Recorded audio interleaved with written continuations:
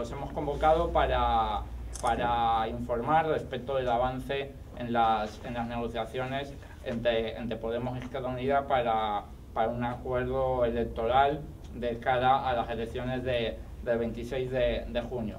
En primer lugar, eh, anunciar, decir que en estos momentos no hemos alcanzado un acuerdo, como ya, seguramente sabéis, que ayer hasta altas horas de la noche el, el secretario de organización de, de, Izquierda Unida y yo mismo estuvimos trabajando para, para intentar que esta mañana eh, Izquierda Unida pudiera tener eh, en su comité político federal un acuerdo que pudiese, que pudiese valorar, que pudiese eh, validar eh, esta mañana. Uh, a medianoche desde Podemos enviamos una, una oferta a, a los compañeros de, de Izquierda Unida que supuso la, quinta cesión por, por, nuestra parte respecto de nuestras posiciones iniciales y que se concretaba aproximadamente en un aumento de, de un factor 7 eh, respecto de la representación que tiene en estos momentos Izquierda Unida en ambas, en ambas cámaras. Es decir, ayer a medianoche Podemos ofreció a los compañeros de Izquierda Unida multiplicar por 7 su representación parlamentaria puede parecer mucho, pero, pero nosotros entendemos que es un momento en el que hay que ser generosos porque la gente de nuestro país se está jugando su presente, su futuro, su trabajo y, y sus derechos. Así que, así que hemos entendido que era el momento de, ejercer esa, esa generosidad. En esa clave estuvimos trabajando ayer hasta, como digo, hasta la, la medianoche.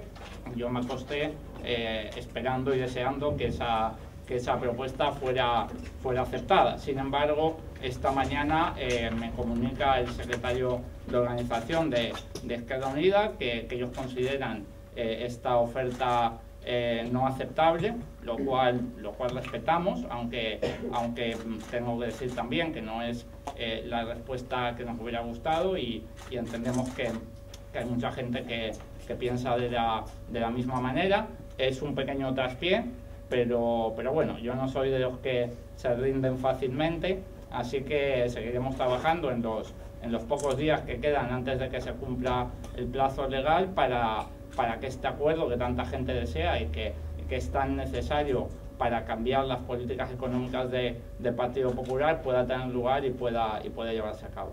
Sin, sin más, eh, estoy abierto a vuestras preguntas. Pablo, o sea, ahora mismo no hay acuerdo entre Podemos y Izquierda Unida. En estos momentos no hemos, no hemos alcanzado un acuerdo y seguimos trabajando para poder alcanzarlo. ¿Puedes anticiparnos cuáles son los puntos o algo en lo que no se ha podido llegar a ese acuerdo para alcanzar la confluencia? Bueno, como se ha publicado en, en diversos medios y como ha explicado eh, los compañeros de Izquierda Unida esta mañana, el escollo fundamental está en las listas. Eh, nosotros, como digo, ayer ofrecimos un, una propuesta que, que eh, en una estimación electoral según la cual se repitiesen los resultados del 20 de diciembre y se sumasen aritméticamente los resultados de, de Izquierda Unida de Podemos, lo cual es una, evidentemente una estimación, eh, multiplicaría por 7 la actual representación parlamentaria de, de los compañeros de, de, Unida. Ellos han considerado esa propuesta insuficiente en, en estos momentos y es ahí donde está el principal escollo. No, Buenaventura, pero ¿es por el orden en el que van las listas o es por la cantidad que les parece insuficiente? No, no hemos entrado a ese nivel, a ese nivel de detalle. Eh, eh, digamos que nosotros entendemos un acuerdo como un acuerdo global. Eh, es verdad que el principal escollo está, está ahí, pero digamos que, que, que los detalles no son independientes. Es decir, cuando uno habla de listas, eh, habla también de campaña, habla también de, de recursos y habla de, de, un montón de cosas, ¿no? Pero es verdad que es ahí donde, donde los compañeros encuentran el, el principal escollo. Y respecto a la pregunta que hecho Gastón esta mañana, ¿qué parece? Bueno, como si mis cuentas no me fallan, eh, la, la, propuesta que enviamos ayer a, a medianoche cumple con, con ese criterio. Eh, eh, si se repiten los, los resultados electorales eh, del 20 de diciembre, estaríamos hablando de una estimación de alrededor de 60 escaños para, para la suma de, de las dos formaciones, eh, una, una, sexta parte, que entiendo que es lo que, lo que ha dicho el compañero Alberto, supondrían 10 y, y, y, lo que nosotros hemos ofrecido entre, ambas cámaras porque evidentemente hemos tenido que hacer un complejo encaje de bolillos en todo, en todo el estado, eh, suman 14. Así que entendemos que cumple ese requisito eh, y por tanto, bueno, estamos dispuestos a seguir ajustando detalles para que finalmente los compañeros puedan aceptar la, la propuesta. ¿Qué día, ¿Qué día se pone como meta para que pueda llegar a ser definitivo el acuerdo? Bueno, el plazo legal es el 13 de, el 13 de mayo, eh, es decir, en, en, unos pocos días, pero, pero también es verdad que Podemos tiene que hacer una, una consulta el, el, día 10 y el día 11 a, a nuestras bases para, para, validar un posible acuerdo y, y nosotros entendemos que, que, esa consulta tiene que ser llevada a cabo con la máxima información posible. Por lo tanto, nos gustaría que, que el día 9 ya, ya podamos tener un acuerdo cerrado, es decir, el día 9 y lunes. Entonces, eh, la diferencia sería que vosotros habláis de 14 entre ambas cámaras y ellos 10 solo en el Congreso.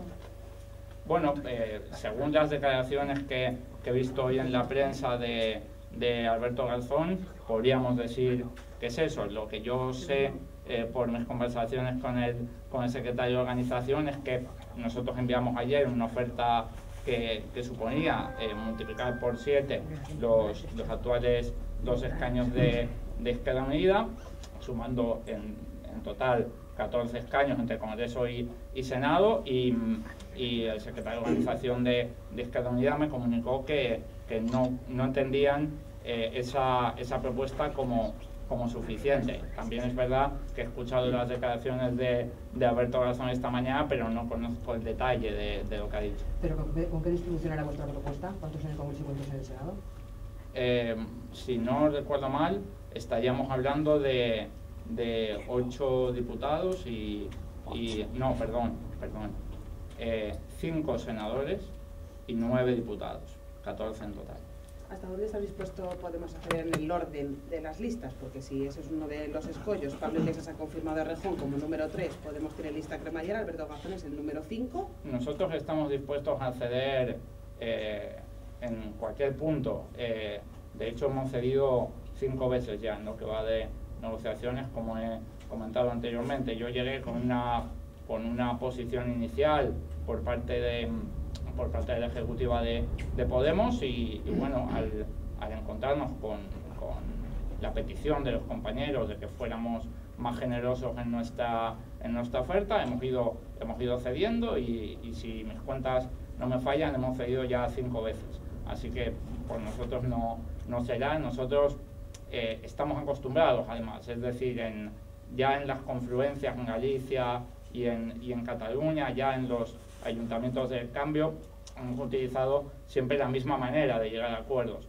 Somos conscientes de que la, la potencia electoral la pone sobre todo Podemos y aunque a veces no, no, recibamos de manera proporcional el número de escaños o de concejales o de, o de recursos tras, tras las elecciones, para nosotros no es no es un problema porque la, la, prioridad de Podemos no es que a Podemos le vaya bien, sino que haya, en fin, una sociedad más justa y que, en que nuestra gente deje de ver el futuro con, con, incertidumbre. Así que no tenemos ningún problema en ceder, como ya hemos demostrado, y, y eso um, se refiere a todos los puntos del, del, acuerdo. ¿Cuáles han sido esas otras cinco fusiones que han hecho? No, ¿Solo pues, de listas o No, no, en muchísimos puntos. En muchísimos puntos. Eh, no, no, quisiera entrar en el detalle porque, como, como comentaba recientemente en, en, una, en una, entrevista, eh, poner el acento en los detalles eh, genera presión sobre, sobre los compañeros, sobre los interlocutores y hace que el acuerdo sea menos probable. Y nosotros tenemos el deseo de que este acuerdo se lleve a cabo. Ah, como ya se está hablando de listas en los medios de comunicación, yo yo en estos días no he querido hablar de, de los detalles de, de, la negociación, pero como ya se está hablando de listas, pues yo contesto respecto de, de ese detalle.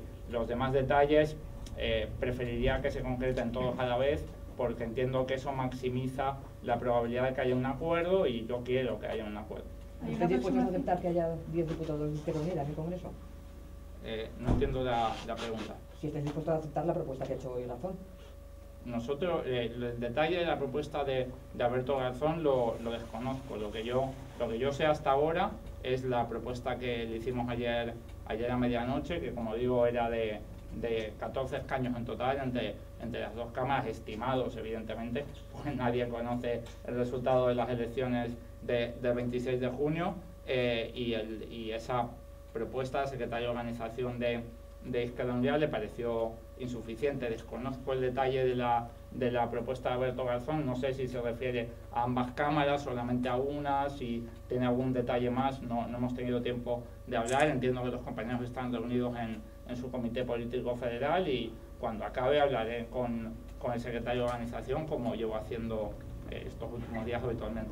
¿Qué No sé se si a le va a nivel la Aragón han entrado en el detalle de las listas y, y si está claro cuál, cuál va a ser el futuro de, de Julio Rodríguez, si va a con el número 2 Como digo, no hay, no hay ningún detalle cerrado mientras, mientras no se cierren todos. Yo, yo soy consciente de que se habla de diferentes eh, puntos concretos en, en los medios de, de comunicación, pero nosotros entendemos el, el acuerdo de manera, de manera global y por tanto, mientras no esté cerrado el acuerdo de manera global, yo no daría por eh, no daría por acordado ningún punto ningún punto intermedio y desde luego no, no hemos entrado a ese nivel de, de detalle por el, que, por el que usted me pregunta. Si queréis tenerlo resuelto el lunes, Pablo, supongo que os os reuniréis otra vez hoy o mañana, seguiréis hablando. En cuanto acabe el, eh, el Comité Político Federal de, de Unida, hablaré con el secretario de, organización y, y veremos cómo hacemos, si nos reunimos presencialmente o, o nos llamamos por teléfono, lo que sea más cómodo para él. Entiendo que él ahora está en Madrid y no sé cuándo va, cuándo va a regresar, pero, pero sí, sí, claro. Tenemos que hablar y tenemos que vernos, sin duda. Las posturas, Pablo, están ahora más alejadas que nunca. Es decir, ahora hay más opciones de que no haya acuerdo que, por ejemplo, la semana pasada, especialmente tras la escenificación de Garzón y de, y de Iglesias en Madrid. Es decir, los líderes daban por sentado el acuerdo, la militancia también lo ha respaldado. Las posturas están ahora más separadas que nunca.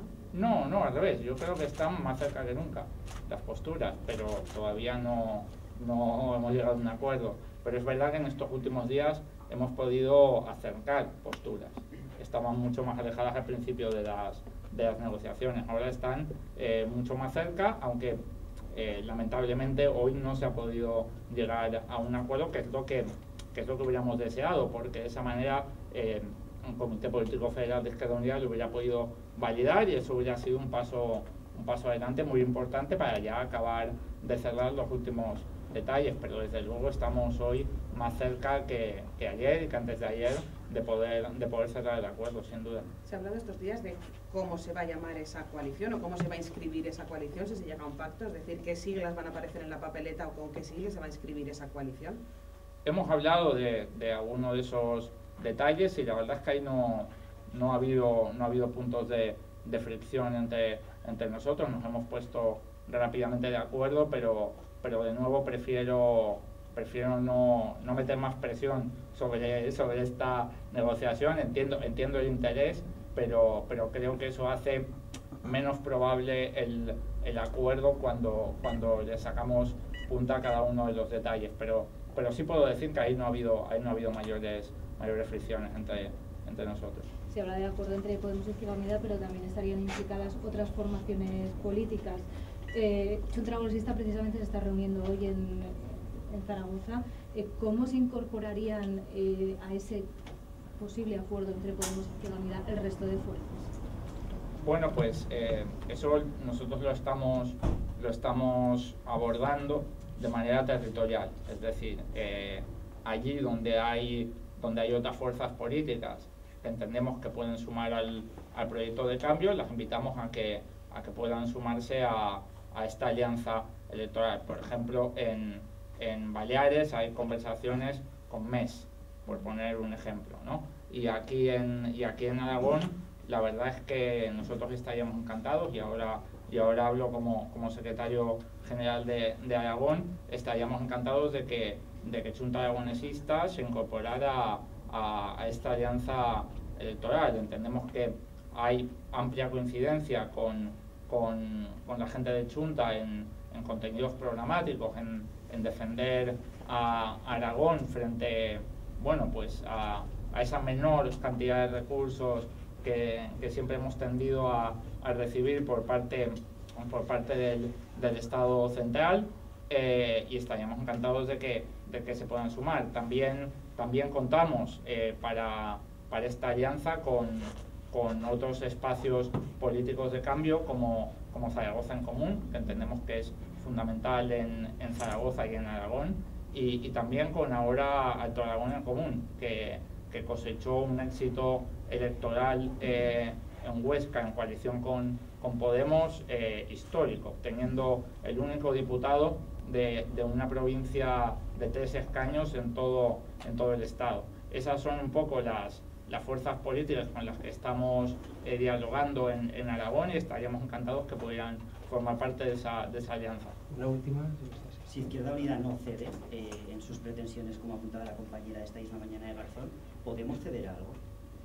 Yo estoy seguro que todos vamos a, a ceder porque, porque así ha sido a lo largo de, de estas negociaciones. Tanto, tanto los compañeros de Izquierda Unida como, como nosotros entendemos el momento histórico que estamos viviendo, la, esta segunda oportunidad ¿no? que tiene la gente para, para expresar su opinión democráticamente eh, y además vivimos esta, esta oportunidad como, como algo urgente, como algo muy importante para, para poder recuperar los derechos, eh, la economía y las, y las instituciones que, que nos han sido robadas, por, por decirlo con, con claridad. Y, y, a lo largo de, de, estos días, tanto, tanto Izquierda Unida como Podemos hemos cedido en, en muchos puntos y, y, no hay ningún problema por parte de ninguno de los dos de seguir haciendo, así que yo, yo soy optimista. Es verdad que no hemos llegado a un acuerdo hoy y que hay esa, esa diferencia que os he, que os he contado, pero, pero yo soy optimista y creo que, creo que nos podemos poner de acuerdo al final.